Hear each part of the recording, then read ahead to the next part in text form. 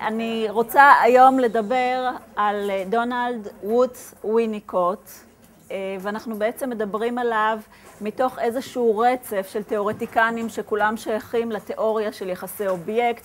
אנחנו דיברנו על מרגרט מאלר, על ג'ון בולבי, על מלאני קליין, והיום אנחנו מדברים על וויניקוט.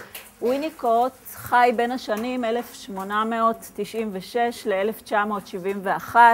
הוא נפטר לפני 40 שנה, בגיל 75, אבל התיאוריה שלו והמושגים שהוא הקנה לנו ממשיכים ללוות אותנו עד עצם היום הזה. הוא גם מאוד מאוד פופולרי בתחום שלנו בעבודה סוציאלית, וכאשר אני אפרוס בפניכם במהלך השיעור את המושגים השונים שבהם משתמש וויניקוט, אתם תראו שחלק גדול מהם מוכרים לכם מהעבודה המקצועית שלכם או מהלימודי מתודה בכיתות. וויניקוט, אם אתם זוכרים, בעצם היה בזרם העצמאי או האמצעי. כאשר היו דיוני המחלוקת בחברה הפסיכואנליטית אחרי מותו של פרויד ב-1939, וויניקוט, שהיה תלמידה של מלאני קליין, החליט שהוא לא רוצה להיות לא בצד של קליין ולא בצד של אנה פרויד, והוא בעצם פיתח זרם משלו. הזרם, בסדר גמור. הזרם התיאורטי העצמאי הזה הוליד הרבה מאוד מושגים שעליהם נדבר היום. אני יכולה לומר בשמחה שחלק גדול מהדברים שכתב וויניקוט, אין מאמרים ואין ספרים, תורגמו לעברית. אני הבאתי היום רק כמה דוגמאות מהדברים האלה, אבל אם נסתכל על הכותרים, הילדה פיגי, תינוקות ואימהותיהם, משחק ומציאות, עצמי אמיתי, עצמי כוזב. אם נסתכל על הכותרים האלה, נוכל להבין שהוא כתב על מגוון של נושאים, החל מהנושא של יחסים בין ההורה לילד. הוא התמקד הרבה בקשר בין האימא לתינוק, והוא התמקד גם בתפקיד של האבא כתומך לאימא, כדי שתוכל לטפל בתינוק. הוא דיבר על ילדים, והוא דיבר על מתבגרים, הוא דיבר על מטופלים נוירוטיים ועל מטופלים פסיכוטיים, וזה לא ברור מאליו, כי לפני וויניקוט הרבה פעמים הייתה התמקדות בסוג מסוים של מטופלים, או בסוג מסוים של אוכלוסייה. וויניקוט, בגלל המגוון של ההתנסויות שלו, כפי שתראו תכף בקורות החיים שלו, בעצם כתב על מגוון רחב מאוד של אוכלוסיות. לפני שאני מתחילה, אני רוצה להגיד שני דברים על הכתיבה של וויניקוט. כי אתם יודעים שמה שאני אומרת לכם לא מספיק, אתם צריכים אחר כך לחזור גם לטקסט. אז הטקסט של וויניקוט באופן קבוע מאופיין בכתיבה פרדוקסלית, מעגלית. הוא עושה שימוש מאוד יצירתי בשפה, הוא כתב באנגלית, אבל גם מי שקורא אנגלית, שזו שפת אימו, מרגיש שוויניקוט משחק עם השפה. ובאמת משחק, כמו שתראו עוד מעט, זה אחת התמות המרכזיות. בעצם בעיסוק של וויניקוט. מה שחשוב לזכור זה שכאשר קוראים ספרות פסיכואנליטית בכלל, ואת וויניקוט בפרט, בגלל המורכבות של הכתיבה שלו, אפשר להבין אותה בכל מיני צורות. ובעצם האופן שבו אני מציגה לכם את וויניקוט, זה קצת גם פרשנות שלי על הטקסט של וויניקוט, וכאשר אתם תקראו, אולי תגלו דברים נוספים, ובעיניי זה אחד הדברים היפים בלקרוא את וויניקוט. דבר נוסף שאני רוצה להגיד בקשר לוויניקוט, ושוב זה נכון לכל התיאוריה הפסיכואנליטית, זה שכאשר אנחנו קוראים ספרות פסיכואנליטית, אנחנו אף פעם לא קוראים אותה פעם אחת. אנחנו קוראים אותה במהלך ההתפתחות שלנו, הן בתוך הלימודים והן כאנשי מקצוע. שוב ושוב ושוב אתם תראו שאתם תקראו את אותם מאמרים שאני מזכירה היום, גם בהמשך הלימודים שלכם בתואר הראשון וגם בתואר השני, ומי שילמד אחר כך לימודים, לימודים מתקדמים בתחום הקליני, יקרא שוב את אותם מאמרים. ומה שיפה זה שכל פעם אנחנו פוגשים את המושגים האלה בצורה שונה. וכשקוראים את וויניקוט, את זה אני יכולה להגיד בזווית אישית, הוא מדבר לכל כך הרבה ייצוגים פנימיים שלנו, הוא מדבר אל עצמנו כילד ואל עצמנו כהורה, ואל עצמנו כמטפלים ועצמנו כמטופלים, שהוא פוגש אותנו באמת כל פעם בצורה אחרת, שהרבה פעמים זה גם קשור לשלב במהלך החיים שבו אנחנו נמצאים. וזה אחד הדברים היפים בלקרוא את וויניקוט, ואני מקווה שככה עשיתי לכם חשק, ועכשיו אנחנו יכולים להתחיל לדבר על וויניקוט עצמו. המשפט המיוחס לוויניקוט, הוא אחד המשפטים הידועים ביותר, הוא שהפוטנציאל המולד של תינוק אינו יכול להיעשות לתינוק, או אם תרצו להיהפך לתינוק, אם הוא לא קשור לטיפול אמאי.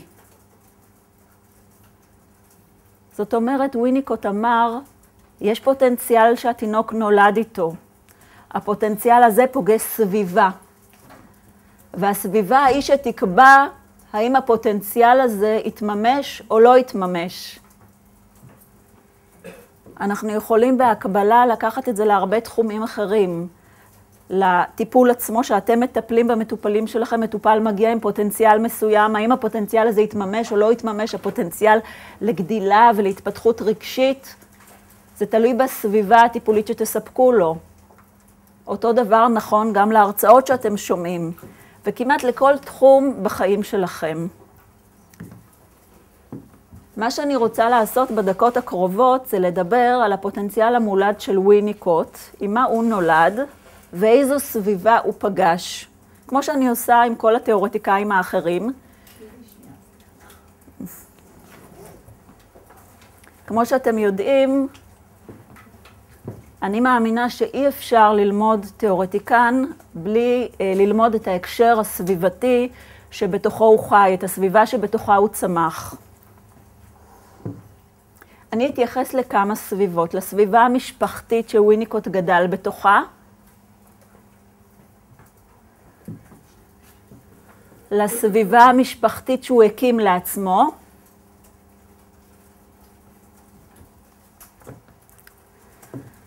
לסביבה הפוליטית, החברתית, שלתוכה הוא התבגר.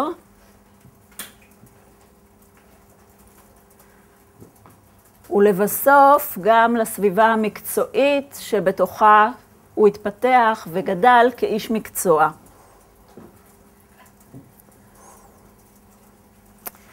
אז וויניקוט, כמו שאמרתי, נולד ב-1896 בדרום מערב אנגליה.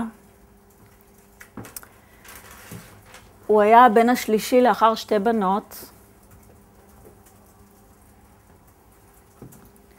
להורים פרוטסטנטים. המשפחה הייתה משפחה עמידה.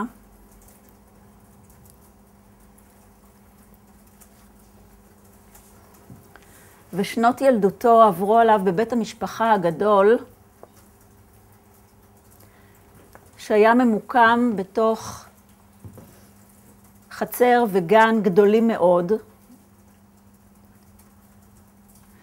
וויניקוט התייחס לכך כאשר הוא אמר שהיו לו הרבה הזדמנויות למשחק.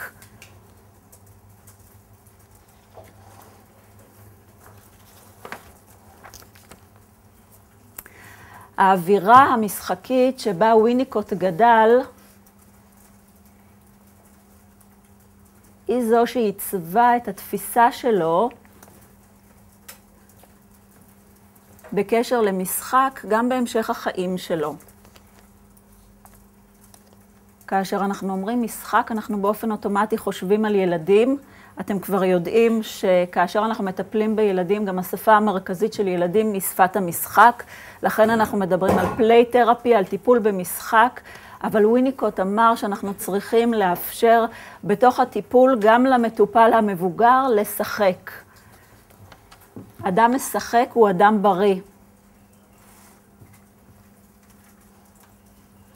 נכון שגם מבוגרים משחקים, ואנחנו יכולים אה, אה, לראות היום אולי אפילו בעידן הטכנולוגי, כשיש הרבה משחקי מחשב, הרבה מבוגרים אה, שמשחקים כל הזמן, אבל כשוויניקו דיבר על משחק, הוא דיבר בעיקר על פעילות יצירתית. מבחינתו משחק זה גם אה, כאשר אנחנו מבשלים איזשהו תבשיל מיוחד ומטבלים אותו אה, באופן אה, שייחודי רק לנו. זו היצירתיות שלנו. אנחנו יוצקים את היצירתיות שלנו לתוך התבשיל הרגיל. בספר משחק ומציאות, שנמצא כאן, הוא יצא בעברית, והוא אחד הספרים המרכזיים שכתב וויניקוט, אומר וויניקוט כך על משחק. אגב, הספר הזה יצא ב-1971, בשנה שבה וויניקוט נפטר. משחק ומציאות.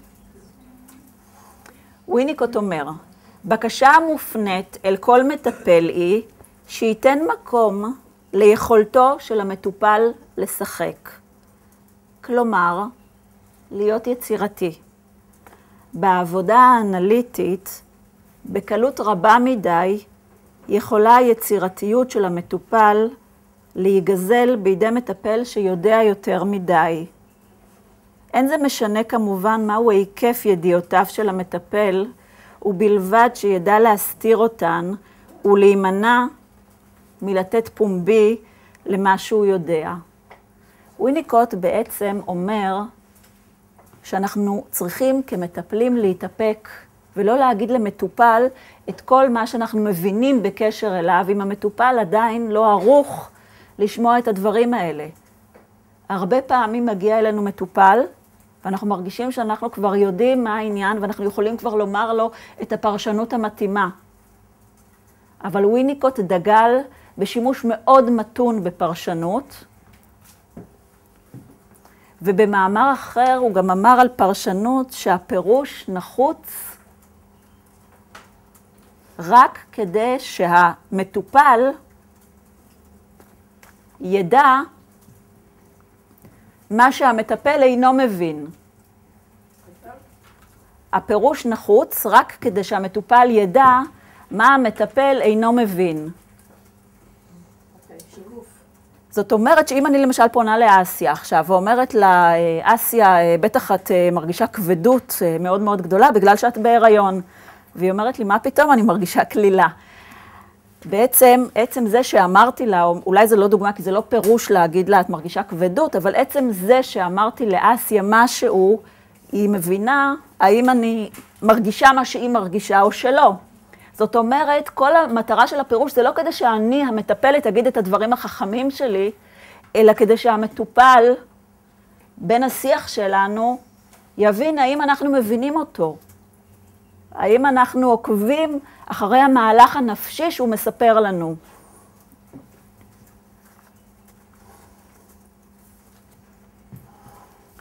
נחזור לקורות החיים של וויניקוט עצמו. בגיל 14,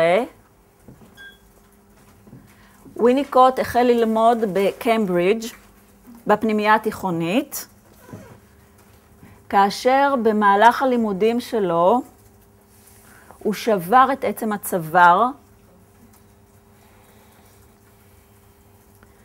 ואושפז לתקופה ממושכת.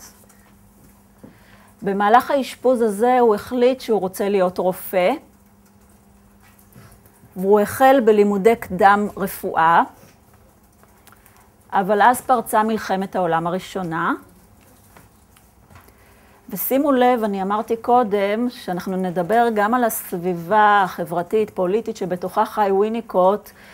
חשוב לזכור שוויניקוט עבר, ואתם תראו בהמשך, שתי מלחמות עולם. והדברים האלה הם דברים שמעצבים גם השקפת עולם של אדם, במיוחד שהוא אדם שכותב תיאוריה. אה, בית הספר לרפואה בקמברידג' הפך להיות אה, בית חולים שדה, וויניקוט אה, שימש שם במהלך המלחמה כאח מסייע. לאחר סיום המלחמה, ב-1918, וויניקוט המשיך בלימודי הרפואה, הפעם בלונדון.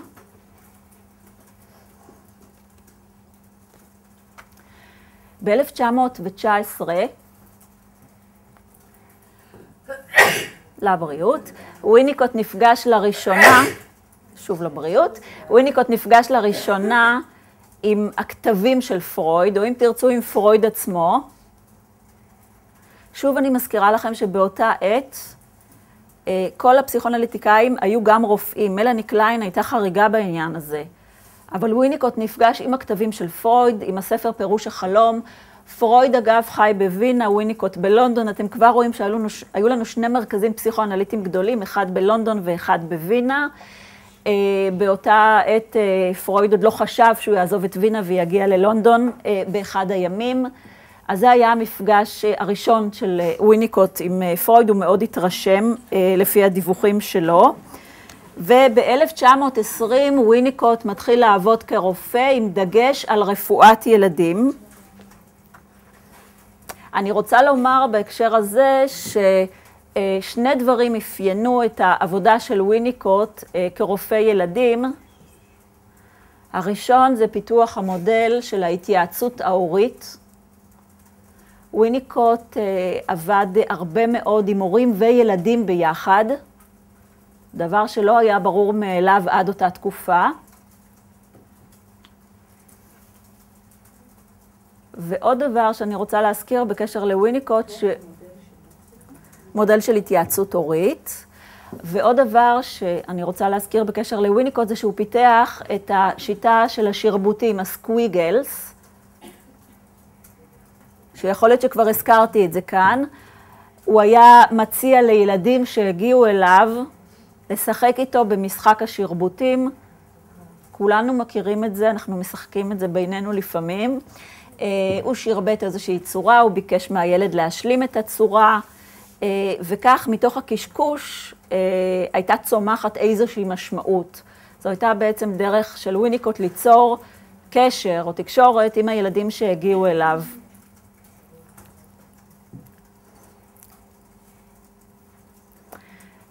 ב-1920, כמו שאמרתי, וויניקוט החל לעבוד כרופא, הוא עבד בעצם במקביל בשני מקומות, הוא עבד גם בקליניקה פרטית, אבל גם במרכז רפואי גדול שנקרא פדינג, פדינגטון גרין.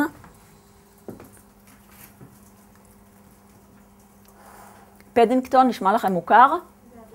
הדוב הידוע, כן, של מייקל בונד. דוב הוא שמו פדינגטון, מי שלא קרא, מומלץ בחום. אותו דוב שמר וגברת בראון מצאו בתחנת הרכבת בפדינגטון, אז אתם רואים שבפדינגטון הייתה גם פעילות ספרותית ענפה.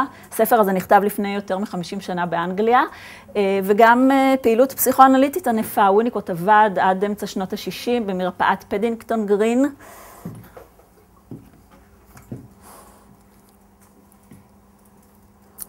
ב-1923 הוא נישא לאשתו הראשונה, אליס טיילור.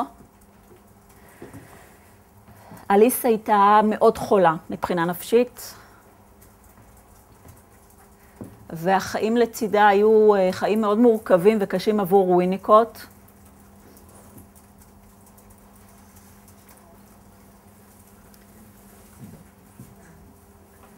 אבל רק בשנת 1949 הוא התגרש ממנה. ב-1949, לאחר הרבה שנות נישואין, 26 שנות נישואין. ומאוחר יותר הוא התחתן עם קלייר, קלייר בריטון, שתכף נשמע איפה הוא הכיר אותה, אבל מה שחשוב לענייננו זה שהיא הייתה עובדת סוציאלית. בכל זאת, אנחנו בבית ספר לעבודה סוציאלית, אז אנחנו צריכים איזשהו קשר. אתם יודעים, אנחנו משתדלים תמיד, או שהתיאורטיקן הוא יהודי ושורשיו נעוצים כאן, או שיש משהו, משהו חייב להיות. טוב, עוד דברים שחשוב להזכיר, ב-1927 וויניקוט מתחיל את ההכשרה שלו במכון הפסיכואנליטי. 27.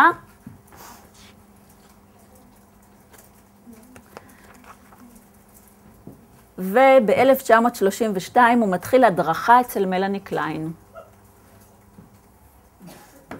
אז שוב, 1927, 1927, וויניקוט מתחיל את ההכשרה במכון הפסיכואנליטי, וב-1932 הוא מתחיל הדרכה אצל מלאני קליין. המכון הפסיכואנליטי זה הפדינגטון? לא, פדינגטון זה המרפאה שבה הוא עבד כרופא, הוא עבד כרופא ילדים. הוא לא היה פסיכואנליטיקאי באותה עת. זה היה מרכז רפואי גדול. מרכז רפואי גדול, שההתמחות שלו הייתה רפואת ילדים. ובאותה, רק שנייה אחת, רק שנייה אחת, באותה עת הוא עוד לא היה, הוא עוד לא היה פסיכואנליטיקאי. החשיבה שלו הייתה חשיבה מאוד יצירתית, חשיבה שחשבה על הורים ועל ילדים, חשבה על הסביבה שבה הילד גדל, אבל הוא עדיין לא היה פסיכואנליטיקאי. כן, נטע. כן, הוא התחיל לפתח את זה כרופא ופיתח את זה מאוחר יותר כפסיכואנליטיקאי. יש אגב הרבה תיאורים מאוד מאוד יפים של העבודה של וויניקוט בספר הזה, משחק ומציאות, שהזכרתי קודם. אין לי אחוזים בכל הספרים שאני מראה, אני פשוט ממליצה לקרוא אותם כי הם באמת כתובים מאוד מאוד יפה. בעצם וויניקוט פיתח את הדברים האלה אחר כך, ויש פה דוגמאות מאוד מאוד יפות של העבודה של ההתייעצות ההורית. מי שירצה, אני אוכל להפנות אותו. מה שחשוב לי להגיד בקשר למלאני קליין, חוץ מזה שהיא הייתה מדריכה שלו, מה שאומר בעצם שהוא הושפע ממנה מאוד, אם אנחנו חושבים איפה הוא ינק את הרעיונות התיאורטיים שלו, זה שוויניקוט החל לעשות אנליזה לבן שלה, אריק. אני לא יודעת אם אתם זוכרים, אבל היא עצמה ניסתה לעשות אנליזה לבן שלה. אתם זוכרים שסיפרתי לכם בשיעור הראשון בדיוק? עד שהיא הבינה שהורים לא יכולים לטפל בילדים שלהם, כי uh, מעורבים בזה בעצם uh, כל מיני עניינים חינוכיים, ולכן הורים לא יכולים לטפל בילדים. והיא הפנתה את אריק שלה uh, לוויניקוט, שהיה מודרך שלה. אתם יכולים לדמיין היום סיטואציה שאתם מטפלים בבן של המדריך שלכם? כנראה שלא. נכון? זאת אומרת, הייתה איזושהי תחושה באותה עת בחברה הפסיכואנליטית של איזשהו גילוי עריות הדדי. כולם טיפלו בכולם וכולם הכירו את כולם, ורגע אחד אתה היית עם המטפל שלך בקליניקה, ורגע אחר כך נפגשתם במקום אחר והמטפל שלך הגן על הרעיונות התיאורטיים שלך.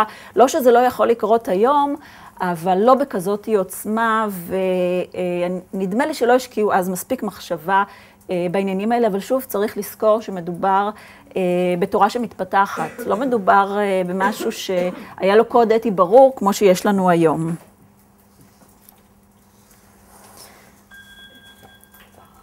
ב-1939, וויניקוט מתחיל אה, להעביר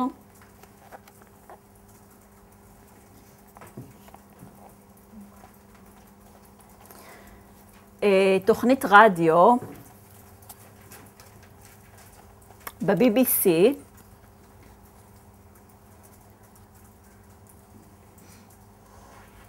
ואני רוצה לצטט קטע מתוך הספר, תינוקות ואימהותיהם, שוויניקוט עצמו מספר על איך בעצם הוא התחיל אה, להעביר את התוכנית הזאת ברדיו, אה, אולי כי אפשר ללמוד דרך זה משהו על האישיות המאוד מאוד מיוחדת של וויניקוט. הוא אומר, הלכתי לשתות בחברתה של מפיקה ברשות השידור BBC, הגברת איזה בנזי, שפרשה בינתיים לגמלאות, אך שמה נשאר שמור בזיכרוני. והיא הזמינה אותי להגיש סדרה בתשע שיחות ברדיו על כל נושא שארצה. היא חיפשה כמובן שם קליט, אך אני לא ידעתי זאת. השבתי לה שאין לי כל עניין לומר לבני אדם מה לעשות. ראשית, משום שאני עצמי איני יודע. אך הייתי רוצה לדבר אל האימהות, על הדברים שהן עושות היטב, פשוט משום שכל אם מתמסרת למשימה המוטלת עליה, דהיינו, הטיפול בפעוט אחד או אולי בתאומים. אמרתי לה שבדרך כלל זה מה שקורה באופן טבעי, והיוצא דופן הוא כאשר תינוק צריך להסתדר בלי טיפול של מומחה כבר בשלבים הראשונים. איזה בנזי קלטה את הרמז בתוך שניות ספורות ואמרה נהדר, האם המסורה המצויה. זה היה שם התוכנית, שזה בעצם מה שאנחנו מכירים היום כהאם הטובה דייה, the good enough mother. מונח שאנחנו משתמשים בו כל הזמן בהקשר של וויניקוט, ואתם תראו שוב, כמו שאמרתי, שיש הרבה מאוד מושגים וויניקוטיאנים שמלווים אותנו. האם הטובה דייה היא בעצם האימא לפי המודל של וויניקוט. אימא לא יכולה להיות מושלמת. למרות שעוד רגע, כשנדבר על התיאוריה שלו, אתם תראו שהוא דורש מהאימא, לפחות בחודשים הראשונים, להיות הכי טובה שיש. אבל הוא בעצמו מודה בזה שאימא יכולה להיות רק טובה דייה.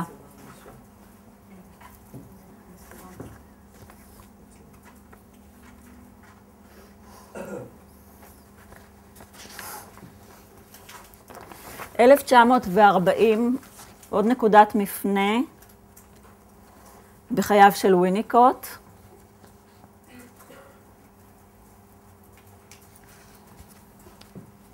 אנחנו מדברים על תחילת מלחמת העולם השנייה.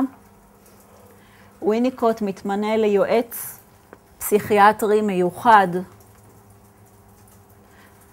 לתוכנית הפינוי הממשלתית לילדים באזור אוקספורד.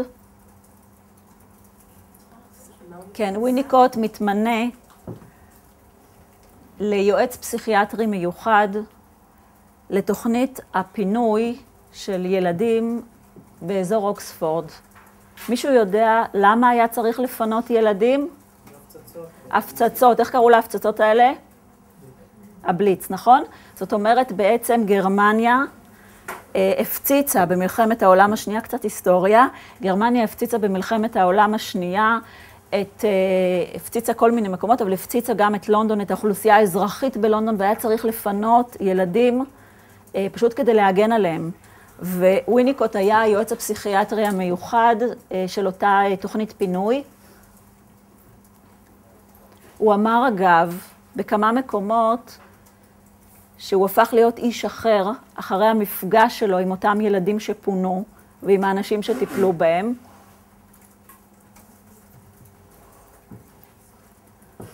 בעצם הוא ראה את הילדים האלה ואת ההורים שלהם נמצאים במצב של סכנה קיומית. ונדמה לי שלא בכדי וויניקוט כתב הרבה מאוד על הנושא של חרדות קיומיות.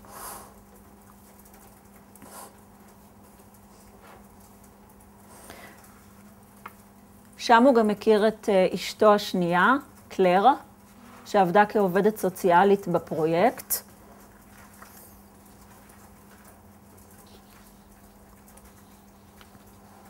מה שחשוב אה, לומר זה שוויניקוט אה, זכה לעיקר ההכרה במחצית השנייה של חייו,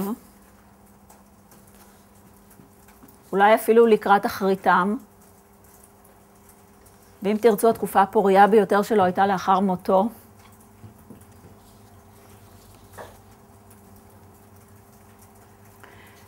אה, עוד כמה דברים שאני רוצה להגיד על וויניקוט, לפני שאני עוברת לדבר על המושגים התיאורטיים, זה שלוויניקוט היה במהלך החיים שלו מפגש ישיר עם המוות.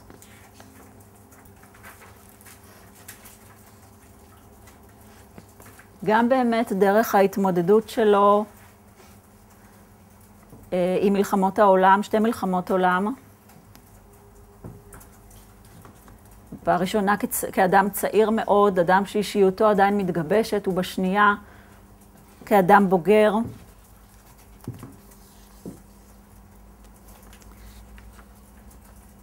וגם דרך התמודדות עם מחלת לב מגיל צעיר יחסית.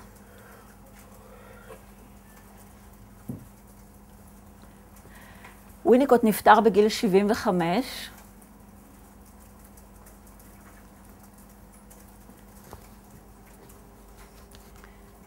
שלוש שנים קודם לכן חלה הרעה משמעותית במצבו הבריאותי, לאחר שמאמר שהוא הציג בניו יורק זכה לביקורות מאוד שליליות. ממש באותה עת ההיעדרות שלו מלונדון והמחלה שלו גרמה למטופלת שלו להתאבד. אולי שוב יש לכם פה איזושהי הצצה למטופלים שמאוד מאוד תלויים במטפל שלהם.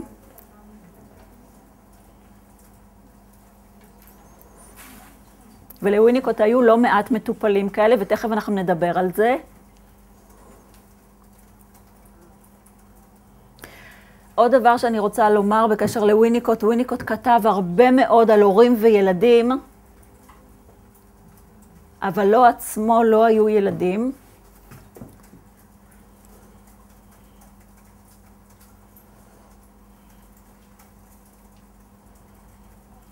למרות שוויניקוט אמר בכמה הזדמנויות שכולנו יודעים מה זה להיות הורה ומה זה להיות ילד, כי הדימויים האלה מופנמים אצלנו. לכולנו היה מישהו שטיפל בנו וכולנו היינו ילדים. הוא אמר שזה גם הכוח של האימא לטפל בתינוק שלה כאשר הוא נולד. איך האימא יודעת מה לעשות? היא יודעת מה לעשות מתוך הזיכרון של הגוף שלה. זיכרונות אה, נמצאים בכל מיני מקומות, הם נמצאים גם בגוף. גם הגוף זוכר למשל את האימא שמנענעת את התינוק. האימא עושה את זה באופן אה, אוטומטי, כי היא זוכרת איך בעצם נענעו אותה, איך הרגיעו אותה, איך הרסלו אותה.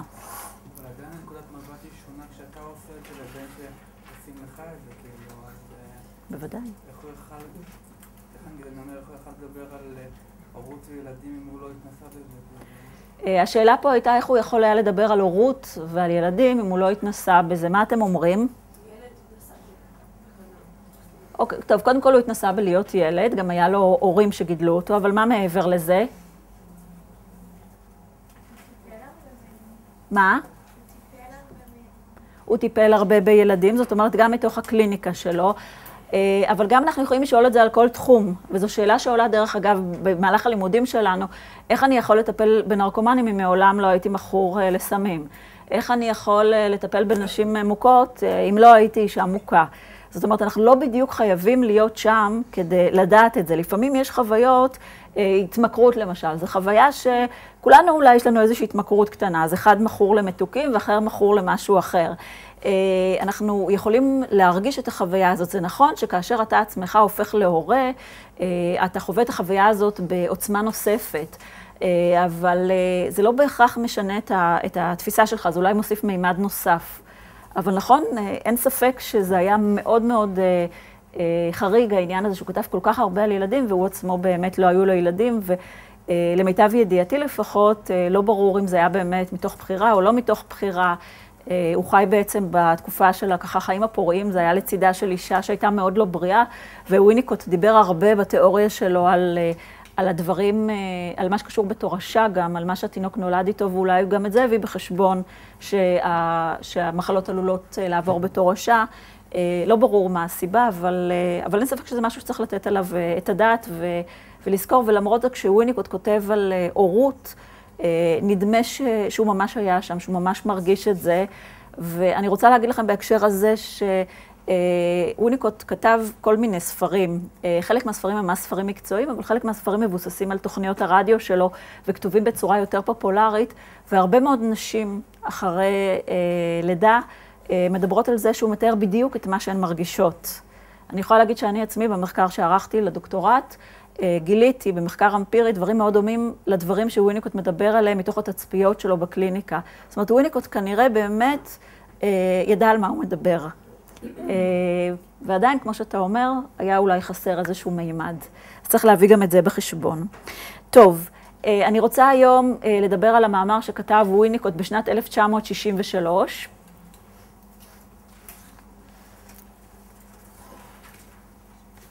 המאמר הזה נקרא מתלות לקראת עצמאות בהתפתחות היחיד.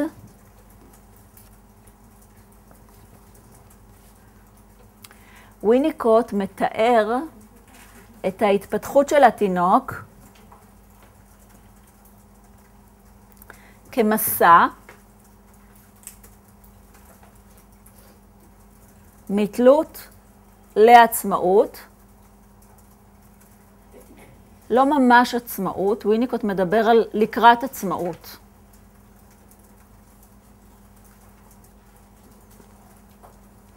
כאשר מבחינתו של וויניקוט, אדם בריא הוא אדם המסוגל להזדהות עם החברה בלי הקרבה גדולה מדי של ספונטניות אישית. תחשבו כמה הדבר הזה מסובך. זאת אומרת, להיות חלק מהחברה, להיות, לא להיות יצור אנטי-חברתי ובו בזמן לא לוותר על העצמי. להיות גם וגם. זה הישג התפתחותי לא פשוט.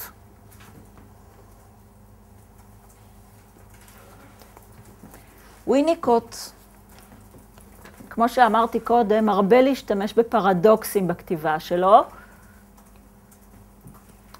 והוא אמר שהתינוק נולד תלוי ועצמאי בו בזמן.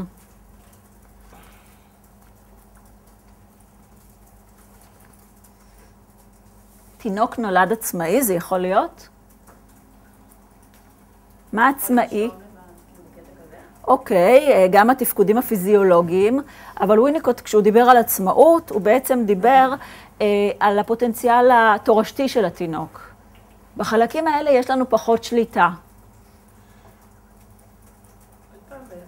על הפוטנציאל התורשתי של התינוק, התורשה של התינוק, הגנטיקה שלו. החלקים האלה הם חלקים עצמאיים, הם חלקים שאנחנו פחות יכולים לשלוט בהם. גם התינוק לא שולט בהם, אבל הוא עצמאי במובן זה, אה, התפקוד של החלקים האלו הוא תפקוד עצמאי. תפקוד של חלקים שאנחנו פחות יכולים להשפיע עליהם. אנחנו לא יכולים להשפיע, כמו שאנחנו לא יכולים להשפיע על צבע העיניים של התינוק, אנחנו יכולים, מן הסתם, אה, אם אה, שני ההורים של התינוק יהיו עם עיניים כחולות, סביר להניח שהוא יהיה עם עיניים כחולות, אבל... אה, אבל, אבל עדיין יש דברים שאנחנו לא יכולים להשפיע עליהם, למשל תורשה של מחלות מסוימות. אנחנו יכולים היום באמת לנסות למנוע את זה, אבל יש דברים שעדיין אנחנו לא יודעים איך למנוע אותם. אבל לעומת זאת, וזה מה שחשוב, זה החלקים שפועלים באופן עצמאי. שמשהו, כשהוא אמר עצמאי, הוא התכוון שלהורים יש פחות שליטה עליהם. אבל, אבל החלקים האחרים, החלקים של התלות, הם החלקים של הסביבה.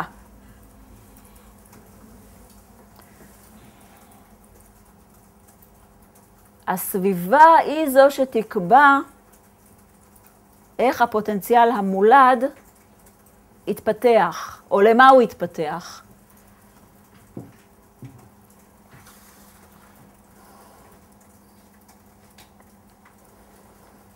בואו תשמעו מה שוויניקוט עצמו אומר, ואולי זה יהיה יותר ברור. הוא אומר ככה, אב ואם אינה, הם, אינם, סליחה, יוצרים תינוק כפי שאומן יוצר תמונה, או קדר יוצר קדרה. אגב, הדימוי הזה מאוד מעניין, כי אשתו הראשונה הייתה אומנית וקדרית. אב ואם מתחילים תהליך התפתחותי, שהתוצאה שלו היא דייר בגוף האם, ולאחר מכן בזרועותיה, ולאחר מכן בבית שההורים מספקים. ומה יהיה טבעו של דייר זה, ומחוץ לשליטתו של אדם כלשהו. ההורים תלויים בנטיות המורשות של התינוק.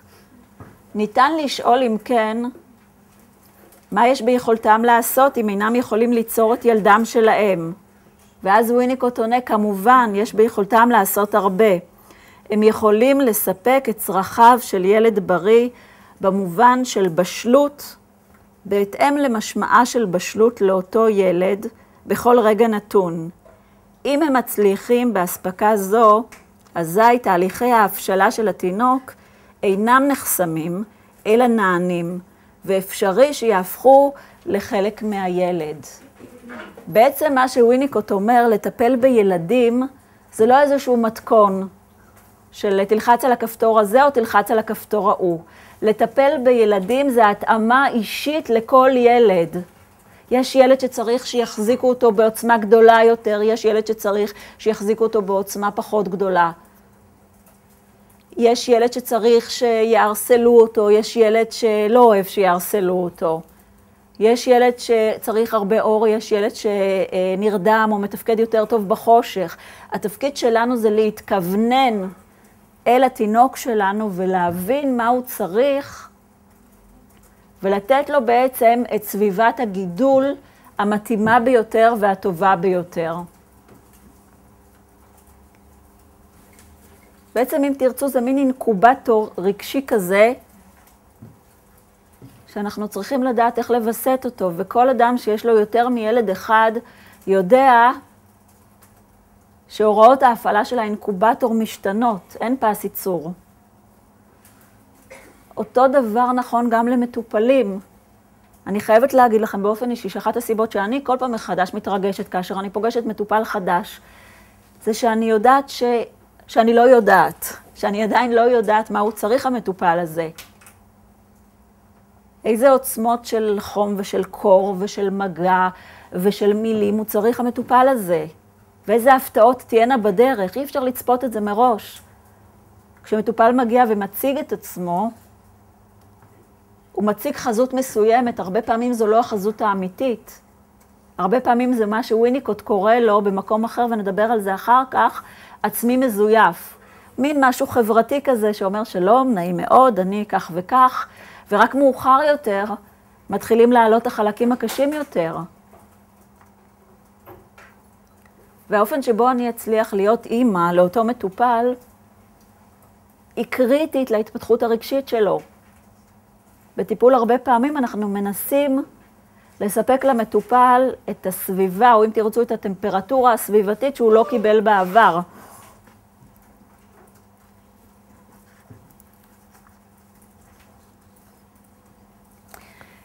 איך לפי ויניקוט מצליחות אימהות, ואני בכוונה אומרת אימהות, כי ויניקוט אה, מדבר קודם כל על אימהות, איך מצליחות אימהות להתכוונן בצורה כל כך מדויקת לתינוקות שלהן? את זה הוא אומר הן עושות דרך פונקציה שנקראת מושקעות אימהית ראשונית. מושקעות אימהית ראשונית.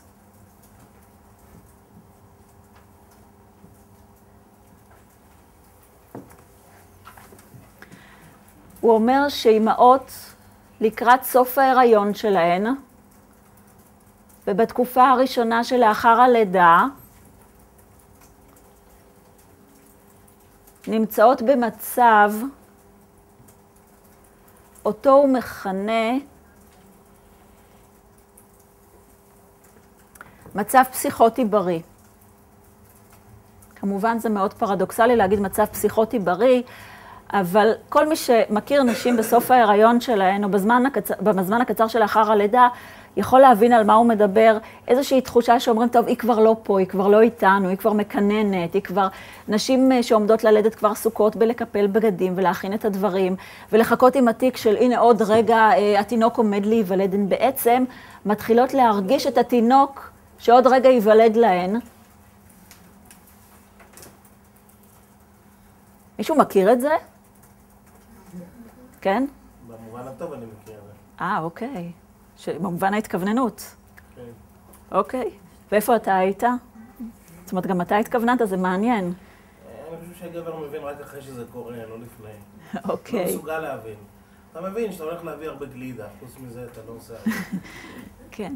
אה, בכל אופן, אה, בכל אופן, הפונקציה הזאת,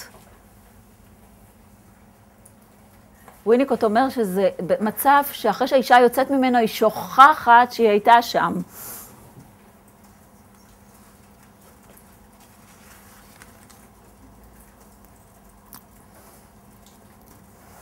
עכשיו, מה שוויניקוט אומר, וזה מאוד מאוד יפה, שכדי שהאישה תוכל להיות שם ולהתכוונן לתינוק ולדעת את הצרכים שלו,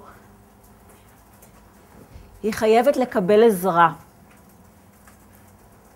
בראש ובראשונה אומר וויניקוט, מבן זוגה, מאבי התינוק. בהמשך, מאימא שלה,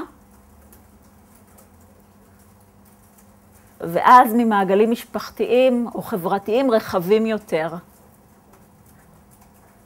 האמירות האלה של וויניקוט, שהיו מבוססות על תצפיות קליניות ואולי גם על איזושהי אינטואיציה, היום מאוד מבוססות אמפירית. זאת אומרת, ואנחנו כבר יודעים שיש הבדל בין מחקר שהוא מחקר שמבוסס על מעט תצפיות, מחקר קליני, לעומת מחקר שהוא מחקר אה, אה, אמפירי שמבוסס על הרבה נתונים, מחקר סטטיסטי. אנחנו יודעים היום שבאמת נשים מדווחות אחרי לידה, שהבעל או בן הזוג הוא הדמות המשמעותית של התמיכה, ורק אחר כך באה האימא של האישה, ומאוחר יותר מערכות אחרות. למרות שאילו וויניקוט היה חי היום, הוא בטח היה צריך לתת את הדעת גם על מערכת התמיכה המאוד פופולרית היום של פורומים באינטרנט. הרבה מאוד נשים, אם פעם אנחנו מדברים על זה שנשים היו מקבלות uh, תמיכה uh, מהמעגל החברתי שבתוכו הן היו uh, חיות, uh, בכלל היה איזשהו מבנה חיים של uh, משפחה מורחבת שכולם חיים uh, באותו הבית, היום בעצם הבית הוא המחשב, נשים נכנסות לפורום ומבקשות עצה, uh, וזה גם מערך uh, תמיכה מאוד מרכזי.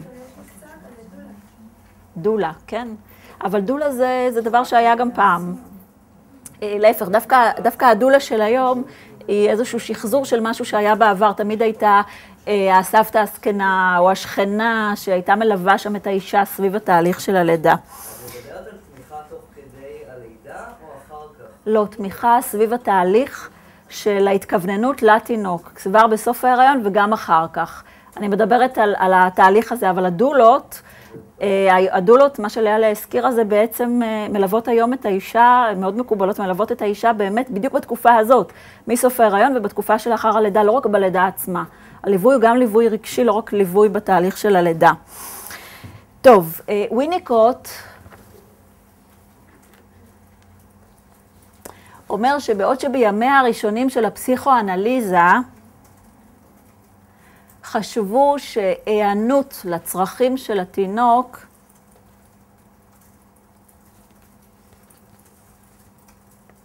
היא רק הפגה של מתח יצרי, היא רק הפגה של מתח יצרי. למשל, התינוק רעב, ניתן לו אוכל ובזה נגמר העניין. היום אנחנו מבינים שהיענות לצרכים של התינוק היא היענות גם לצרכים רגשיים. ההיענות לצרכים של התינוק היא היענות גם לצרכים רגשיים. תינוק לא יכול לגדול רק מטיפול פיזי.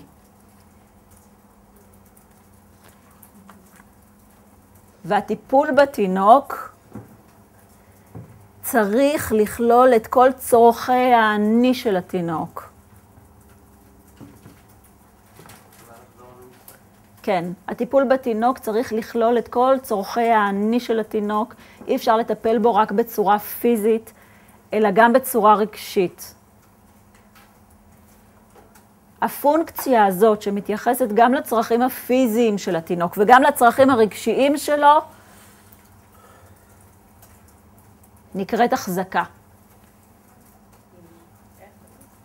החזקה, holding. הפונקציה שמתייחסת גם לצרכים הרגשיים של התינוק וגם לצרכים הפיזיים שלו. סליחה?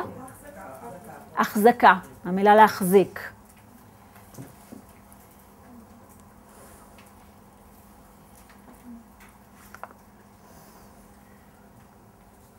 ההחזקה, אומר ויניקוט, היא תקשורת דוממת בין האימא לבין התינוק, שדרכה האימא אומרת לתינוק, אפשר לסמוך עליי, אני יודעת מה אתה צריך. ובאמת זה נורא יפה לראות אימהות שאומרות, אני יודעת עכשיו כואבת לו הבטן, או עכשיו הוא עייף, או כנראה האוכל חם מדי או קר מדי. הוא אוהב אותו בטמפרטורה אחרת. זאת אומרת, זה גם לספק את הטיפול הפיזי, אבל גם עם המגע הרגשי, המאוד מכוון לתינוק.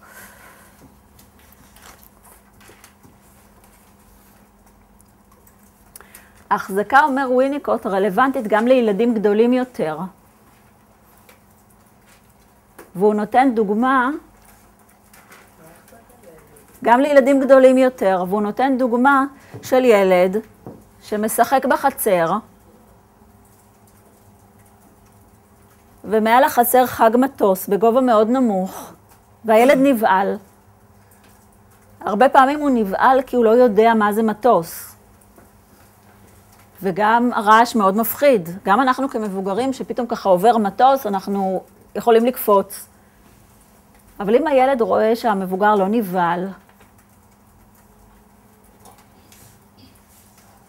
הוא ממשיך לשחק תוך זמן קצר, ברגע שהרעש הזה חולף.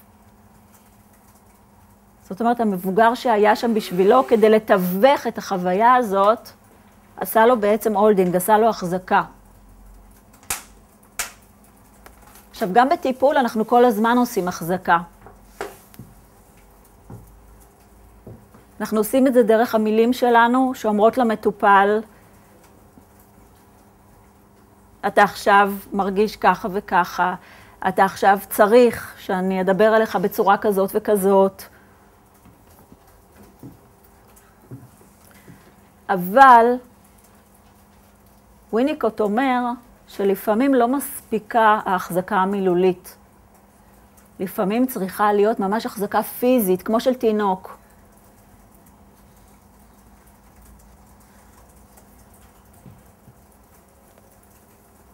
לגבי מטופל? גם לגבי מטופל. ופה עולה שאלה, וויניקוט היה באמת מחזיק פיזית את המטופלים שלו. וויניקוט היה מלטף את ראשם. אה, הוא עבד עם הרבה מטופלים שהיו במצבים של פירוק מאוד מאוד גדול. היום אנחנו נרגיש באמת אה, חוסר אה, נוחות ונגיד שיש פה בעיה אתית לגעת במטופלים. עכשיו, אני יכולה להגיד לכם, אין לי התנסות בעבודה עם מטופלים מבוגרים פסיכוטיים, יש לי התנסות בעבודה עם ילדים פסיכוטיים, ואני יכולה להגיד לכם שכשמדובר בילד, יש משמעות מאוד מאוד גדולה להחזקה הפיזית, כשהוא במצב ש... שיש תחושה שהגוף שלו מתפרק לחתיכות. אבל כשילד מתפרק לך, בצורה סימבולית או בצורה ממשית, אתה מרגיש מאוד נוח גם כמטפל לגעת בו, ללטף אותו. כשזה מגיע למתבגרים, זה כבר הופך להיות מורכב יותר. כשזה מגיע למבוגרים, עלולה ממש להיות פה אה, בעיה רצינית.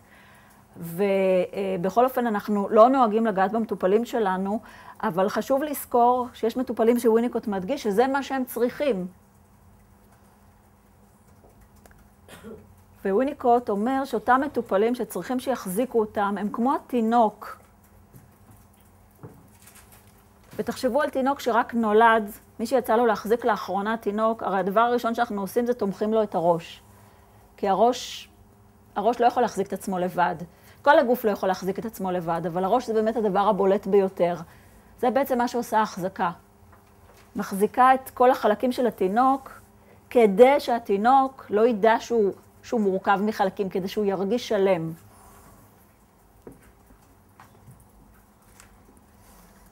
המטרה שלנו היא בעצם לאפשר לתינוק האנושי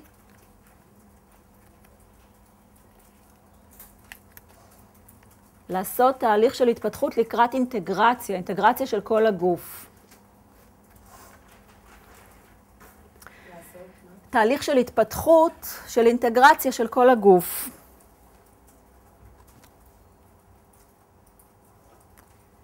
אני רוצה שוב לעשות איזושהי אה, אתנחתה ספרותית קלה, אה, קצת אה, לאפשר לידיים שלכם לנוח. אני לא יודעת אם יצא לכם כבר לקרוא את הספר, מה שנשאר של אלי אמיר, הספר האחרון שלו, מישהו קרא במקרה? אוקיי.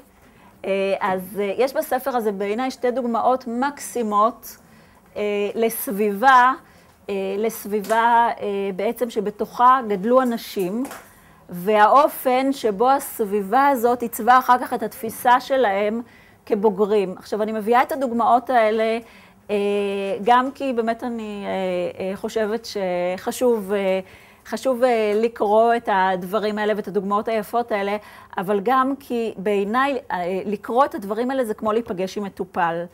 ותקשיבו לדברים שאני אגיד עכשיו, אני תכף אתן לכם רקע קצר, רק כדי שתבינו על מה מדובר, ותחשבו כאילו אתם פוגשים מטופל שמספר לכם סיפור. הספר "מה שנשאר" של אלי אמיר הוא uh, ספר על uh, דניאל בסוף שנות החמישים לחייו, שעובר אירוע לבבי רציני ביותר, הוא מאושפז בבית חולים, ואז מתחיל לעשות חשבון נפש.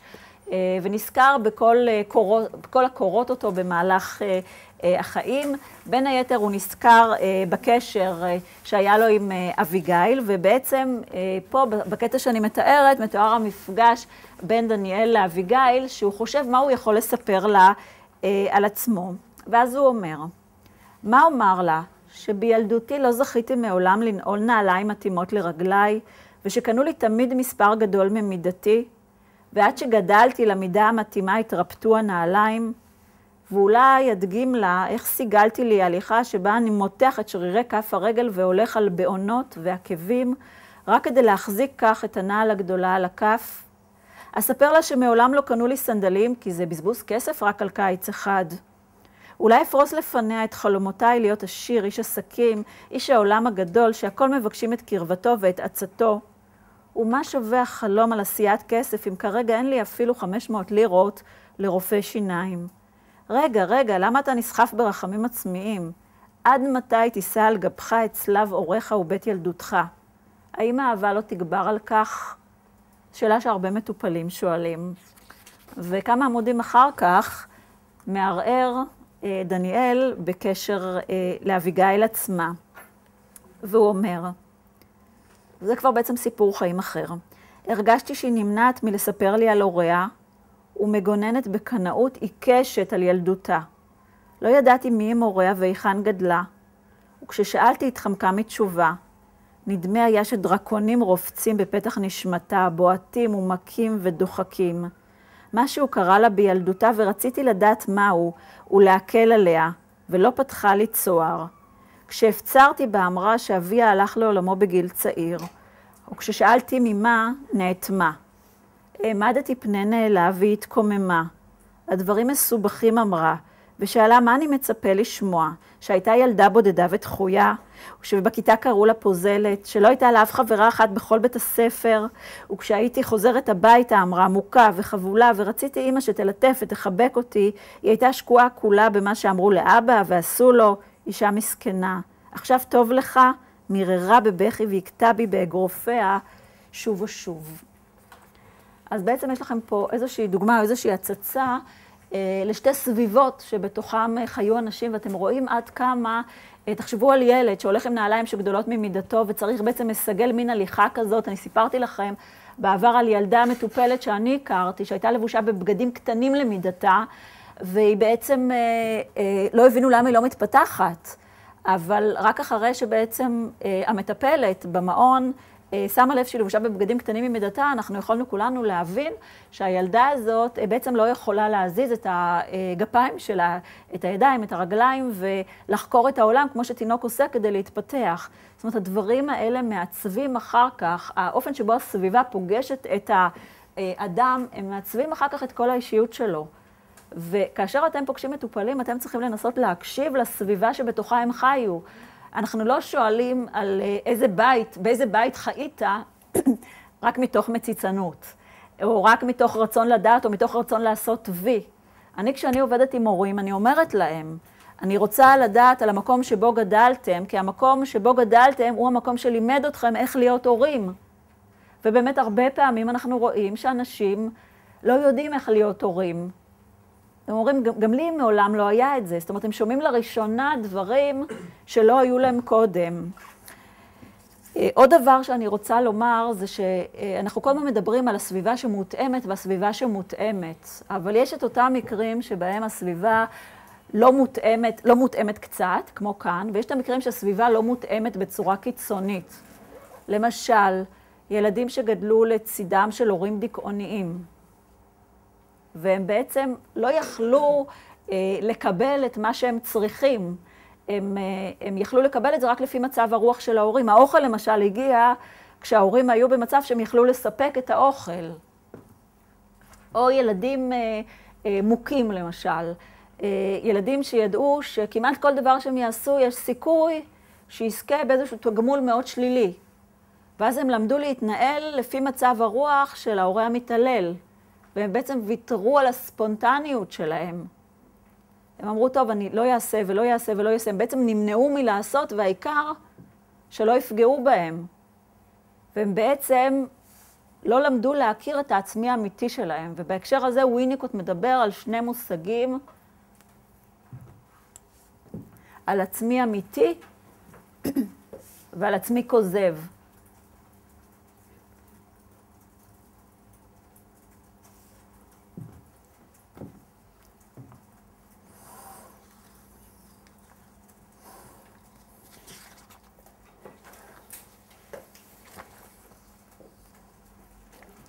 העצמי האמיתי בעצם כורך בתוכו את כל האותנטיות שלנו. היכולת שלנו להגיד מה אנחנו רוצים ומה אנחנו צריכים. והעצמי הכוזב הוא החלק המרצה. בכולנו יש קצת עצמי כוזב. כי לפעמים אנחנו קמים בבוקר ואין לנו חשק להגיד שלום לאף אחד, אבל אם אנחנו נבוא לעבודה ולא נגיד שלום לאף אחד, אולי יגידו לנו שלום בסוף היום הזה. אז אנחנו נבוא ונגיד שלום ובוקר טוב, ובפנים נרגיש משהו אחר, וזה בסדר. לא על זה הוא מדבר, הוא מדבר על אותו חלק של עצמי כוזב, של אנשים שבאמת לא יודעים מה הם רוצים ומה הם צריכים. אותם מטופלים שמגיעים, ואתה שואל, נוח לך? לא יודע. קר לך? לא יודע. חם לך? לא יודע. לא יודע כלום.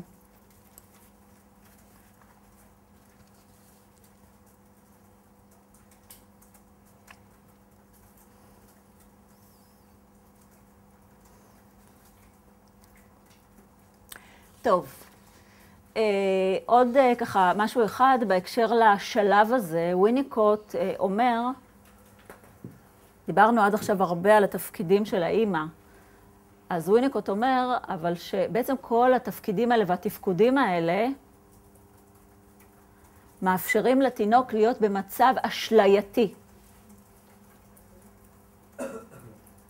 מה זה מצב אשלייתי?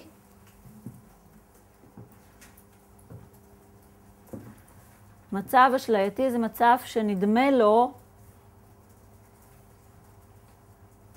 שהוא זה ששולט בעולם.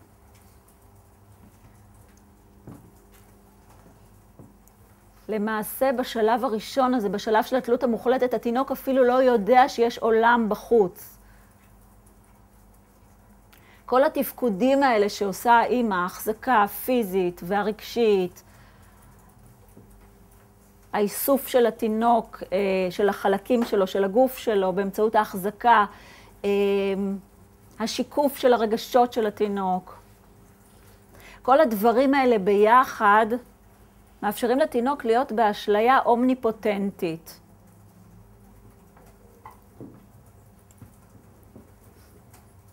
אשליה אומניפוטנטית פירושה שאני התינוק, יש לי צורך מסוים, אני מרגיש את הצורך,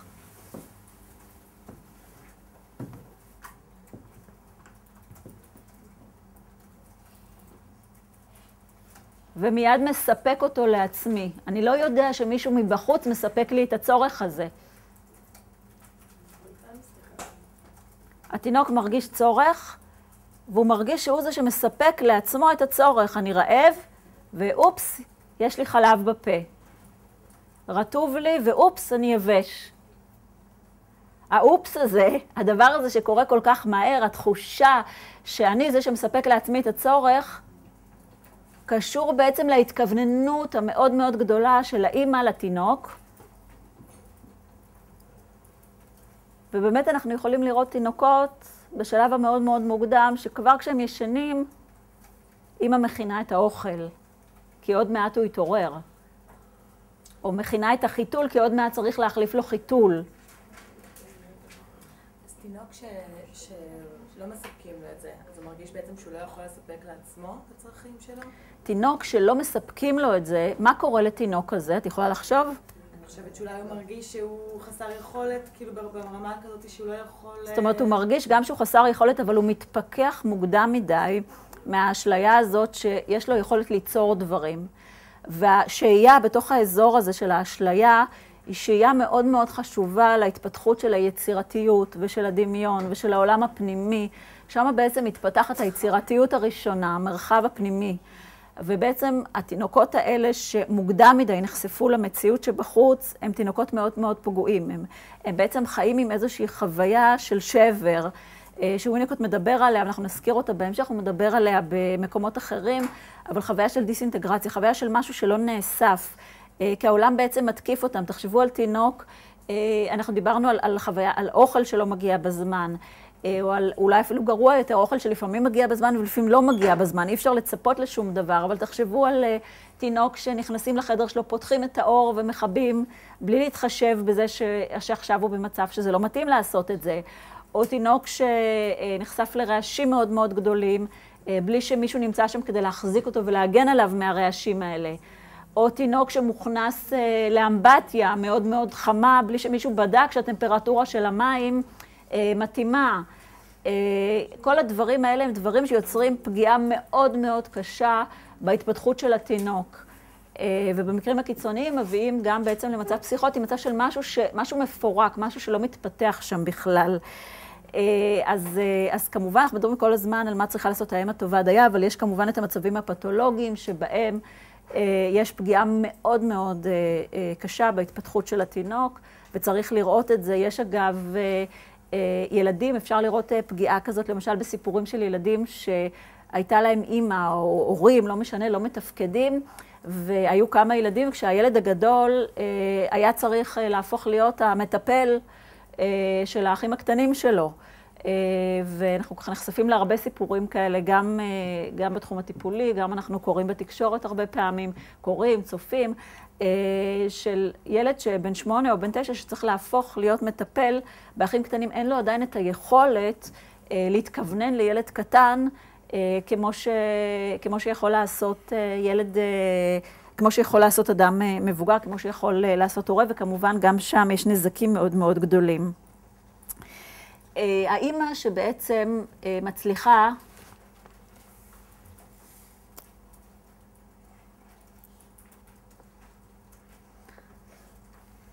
לתת לתינוק לטעום, אם תרצו, מהמציאות החיצונית בהדרגה,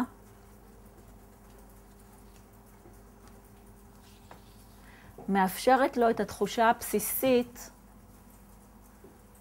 לה וויניקוט קורא going on being, התחושה של להמשיך להיות. Going on being, תחושה של עצמי כרצף.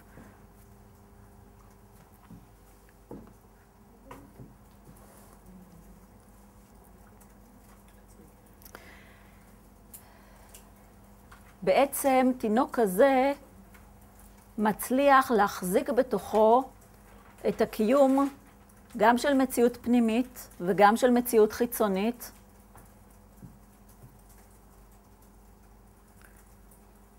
וגם אם תרצו את מרחב הביניים, שאנחנו נדבר עליו בהרחבה יותר בשיעור הבא, גם את מרחב הביניים שבין המציאות הפנימית למציאות החיצונית, שהוא המרחב של הפעילות היצירתית.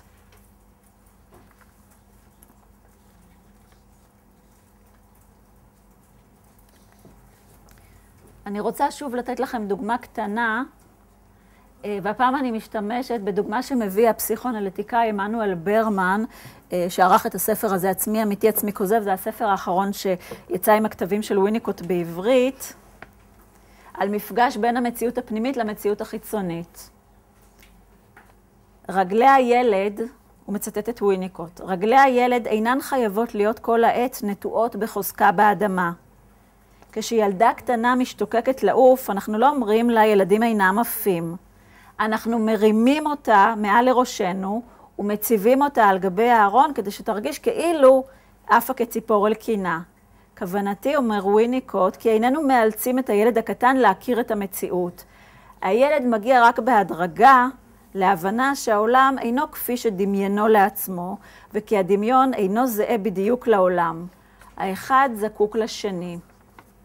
זאת אומרת, אנחנו מפגישים את התינוק בהדרגה עם המציאות, וככל שהתינוק גדל, אומר וויניקוט, באופן טבעי אנחנו ההורים קצת משחררים ומאפשרים לו להיפגש עם המציאות. למשל, אה, על ידי זה שהאוכל לא מגיע מיד, מגיע כמה דקות אחרי. אבל אתם יכולים לחשוב למה אנחנו יכולים בעצם לאפשר קצת את המפגש עם המציאות בגיל מבוגר יותר של התינוק, מבוגר יותר, כן? אה, חמישה חודשים. פחות צריך אה, דברים בסיסיים, אתה יכול קצת לשחרר. למה הוא פחות צריך? הוא יודע שהאוכל יגיע. א', הוא יודע שהאוכל יגיע, נכון. ואיך הוא יודע? כי חמישה חודשים הוא הגיע בדיוק כשהוא רצה. כי חמישה חודשים הוא הגיע, אבל גם, זה נכון, אבל גם כי יש כבר התפתחות קוגנטיבית שמאפשרת לו לדעת, לדעת שאימא נמצאת שם, לדעת, ההתפתחות הקוגנטיבית, וזה מאוד מאוד חשוב, תראו כמה חשובים כל התפקודים ההתפתחותיים. בעצם לדעת שכאשר אני שומע עכשיו במטבח את הכפית שמערבבת את המזון שלי, אה, אני בעצם יודע שהנה עוד מעט זה מגיע, זה הסימן שזה מגיע עוד מעט, התינוק גם יודע לזהות ויזואלית את הדברים האלה. ושוב אתם רואים איך כאשר אנחנו נפגשים באדם שמבחינה התפתחותית קוגנטיבית יש לו איזושהי בעיה, או מבחינה תחושתית יש לו איזושהי בעיה, משהו בהתפתחות שלו עלול להתעכב בגלל הדברים האלה בדיוק, כי אין לו את היכולת אולי לזכור שאימא תגיע, אין לו, למרות שאימא תמיד הגיעה בזמן, אבל משהו ביכולת הזיכרון שלו פגום, או אין לו את היכולת אה, אה, בעצם להבין שהרעש הזה הוא רעש של כפית שמערבבת את החלב שלי. הדברים האלה הם קריטיים בעצם אה, לעבודה עם, ה, לעבודה עם המטופל הזה. אותו דבר זה גם כשנעבוד עם מטופלים מבוגרים, שמשהו ביכולת שלהם לרשום בתוכם את החוויה של טיפול, בין הטיפול שהם קיבלו בעבר ובין הטיפול שאנחנו נותנים להם, היא מאוד מאוד נמוכה. ואז אנחנו מרגישים שאנחנו נותנים, אבל זה לא נרשם בשום מקום, וצריך כל, כל פעם להתחיל מחדש. וזו עבודה מאוד סיזיפית ומאוד מאוד קשה. אני רוצה להזכיר שוב שהאימא לפי ויניקוט היא לא אימא מושלמת, היא רק אם טובה דייה.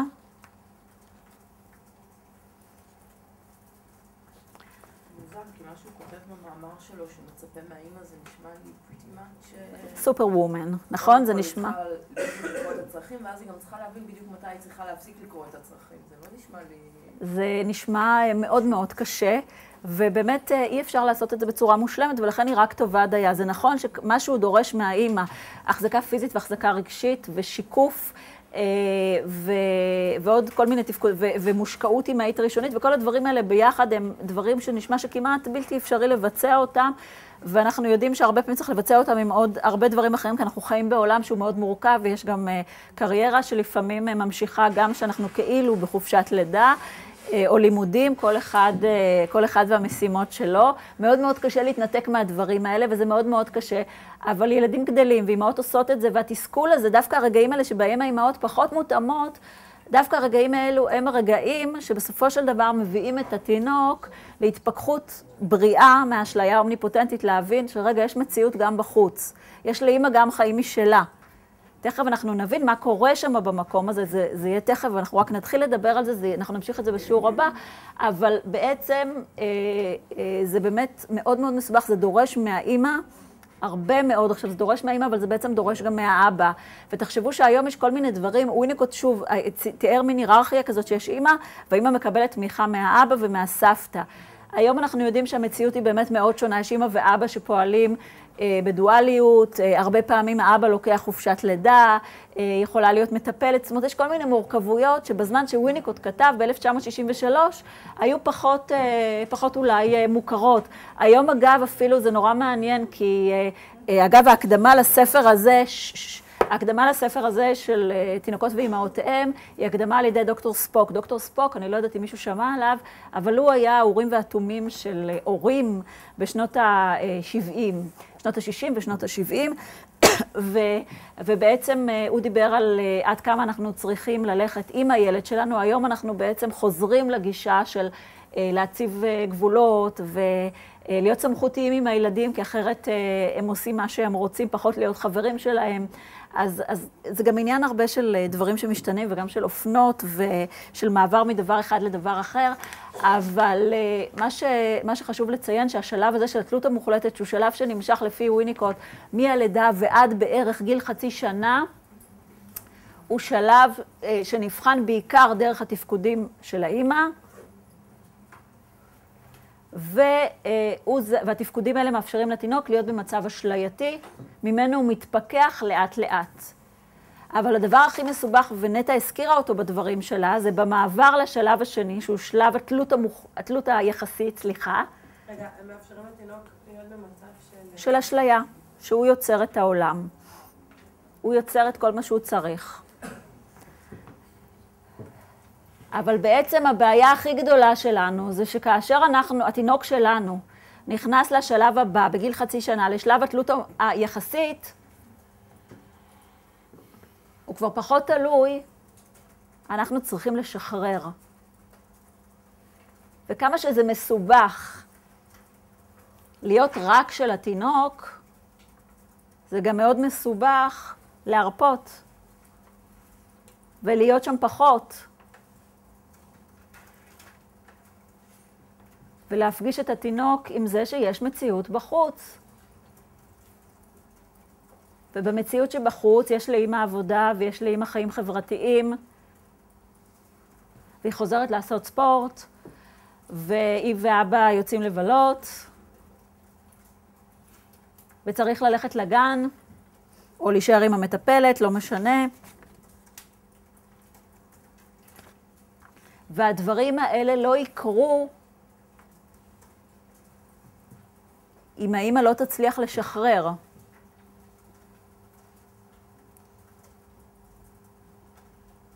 זאת אומרת, פה צריך לקרות תהליך הפוך, האמא צריכה להתחיל קצת להרפות. להיות מסוגלת להפגיש את התינוק שלה עם המציאות יותר ויותר, ולא כל האימהות מסוגלות לעשות את זה.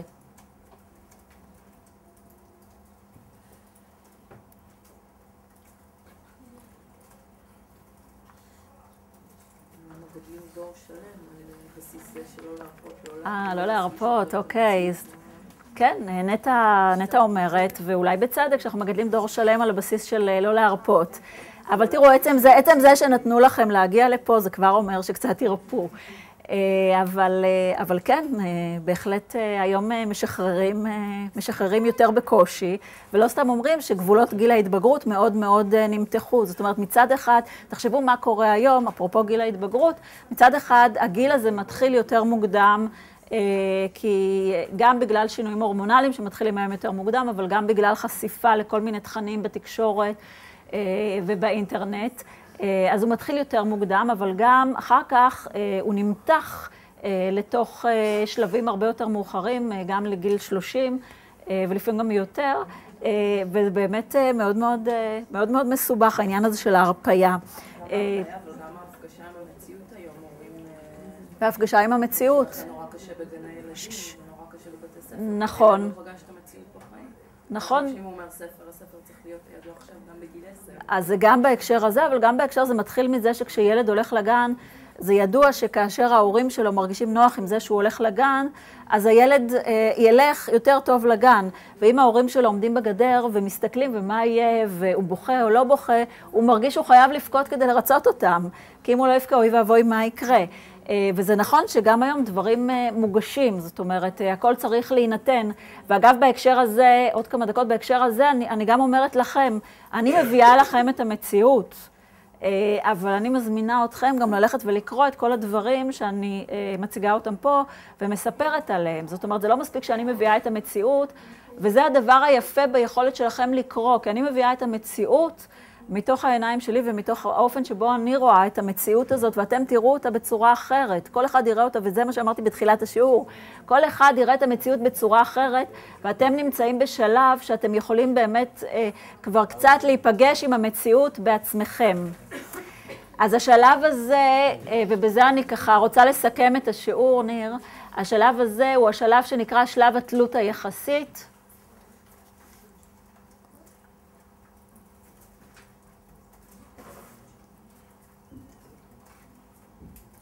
בשלב הזה יש כבר לתינוק, כמו שאמרתי, את היכולת לדעת שיש שם אימא שמטפלת בו.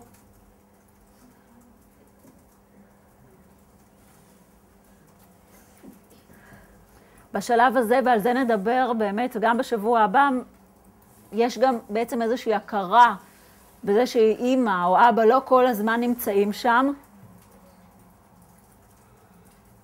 ואז מתחילים להופיע תחליפי הורים, שבאים לנחם אותנו בזמן שאימא ואבא לא נמצאים שם. מה הדבר הכי מנחם? טלוויזיה, אוקיי. טלוויזיה, דובי, דובי מוצץ, חיתול. אני בעצם מנסה לכוון לאובייקט המעבר, אותו חפץ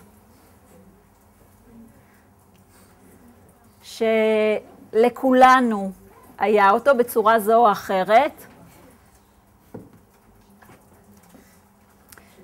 מאחר שהשיעור הזה מצולם, אז אני לא אשאל אתכם, כמו שאני שואלת בדרך כלל, מי מוכן לספר על החפץ שלו, כי זה אחר כך נשאר, אתם יודעים, לעולמי עד, וידברו איתכם הרבה על החיתול שלכם או על הדובי, אז את זה נעשה כשנהיה בפורום פחות, יותר אינטימי. אינטימי, אינטימיות אף פעם מלאה, אף פעם לא תהיה עם כל כך הרבה אנשים, אבל אתם יודעים, בכל זאת, לא כל העולם יכול לשמוע על הדובי שלכם.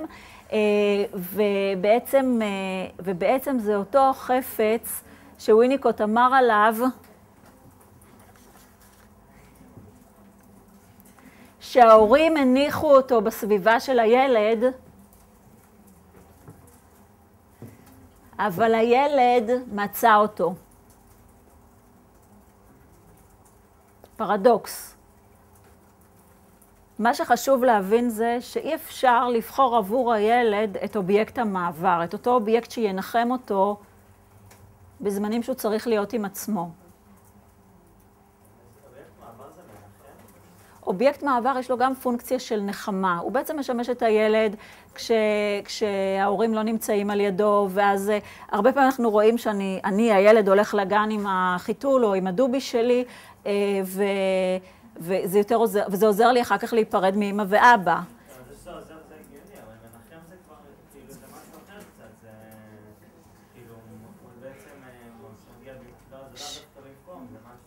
מנחם זה במובן זה שזה לא הדבר האמיתי. זאת אומרת, זה כמו שאני יכולה להגיד, אוקיי, אני אנחם את עצמי בקוביית שוקולד. אה, כן, אה, הקוביית השוקולד היא לא תבוא במקום הדבר האמיתי שאולי הייתי רוצה עכשיו, אבל אני מנחמת את עצמי. במובן הזה אובייקט המעבר מנחם. הוא מנחם אה, במקום הדבר האמיתי שלא נמצא שם כרגע, שזה אימא ואבא. הוא מזכיר לי את הבית, יש לו ריח של הבית. אה, הוא, במובן הזה הוא מנחם, הוא משמש הרבה פעמים, ילדים נרדמים איתו, כי מה שקורה זה שכשנרדמים המעבר הזה מערות לשינה, הוא שוב מקום שאני צריך להיות עם עצמי. אני בתוך הבית, בתוך המיטה שלי, ובכל זאת, אני לא ישן צמוד להורים שלי, אני צריך את הדבר הזה שיהיה יחד איתי בזמן שאין לי שם את הדבר האמיתי, שאני לא צמוד, שאני לא תלוי. אה, אם תרצו, אה, זה איזושהי נחמה לכל התלות שהייתה ולא תהיה עוד. אבל...